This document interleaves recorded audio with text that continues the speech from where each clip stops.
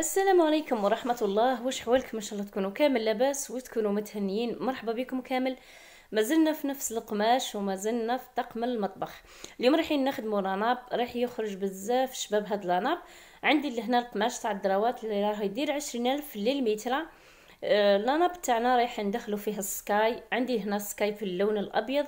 راه يدير خمسة وثلاثين ألف للمتر. وعندي هاد الشويشات. هاد الشويشات شريتهم وحدهم يديروا 6000 للحبة. الوحدة دير 6000 شريت لها هاد العقاش راه يتباع بالميزان.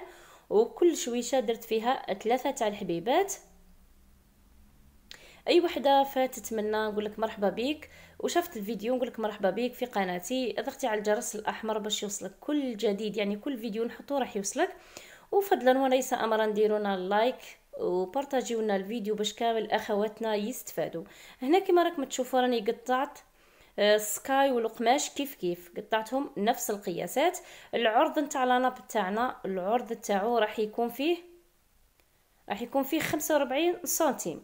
هذا العرض نتاع la nappe أما الطول تاع la nappe نتاعنا راح يكون أما الطول تاع la nappe راح يكون فيه متر وربعين سنتيم. كيما على بالكم باللي العرض نتاع نتاع ال skaï فيه متر وربعين.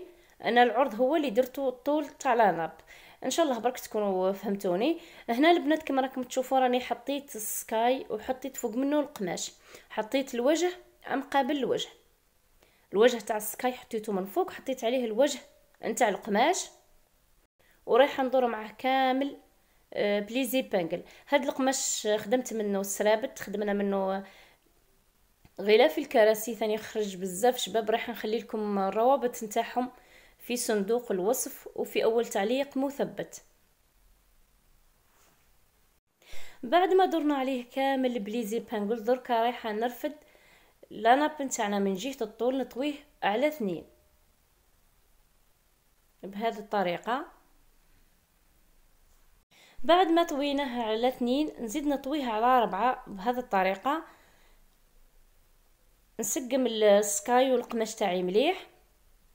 نحط الكوس مائل بهذا الشكل ونروح نرسم خط. la nappe نتاعنا على الحاشيه يعني من الجهتين راح يجينا آه، بنفس la nappe اللي راني حطيته لكم في أسفل الفيديو هذاك اللي جاي في اللون الأحمر.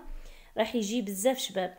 اللي ما عندهاش البنات يعني اللي ما تحبش دير ال doublé ما تحبش دير بال skaï والقماش تقدري ديريه غير بال skaï وحده ولا بالقماش وحده mais القماش. اختاروا آه، القماش اللي يكون خشين. باه يجي la nappe تاعكم يجيكم واقف. دوك أنايا نقطع هنا وين رسمت ومن بعد رايحه نزيد نحكمهم ب les épingles باش من بعد كي نكون نخيط يساعدني على الخياطة. نروحوا للماكينة ونبداو الخياطة. هنا الخياطة راح نبداها في وسط la nappe.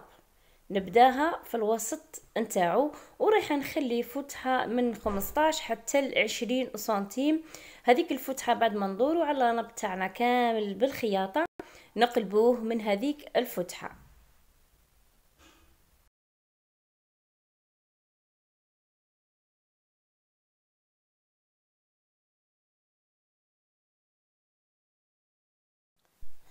ندورو على النب تاعنا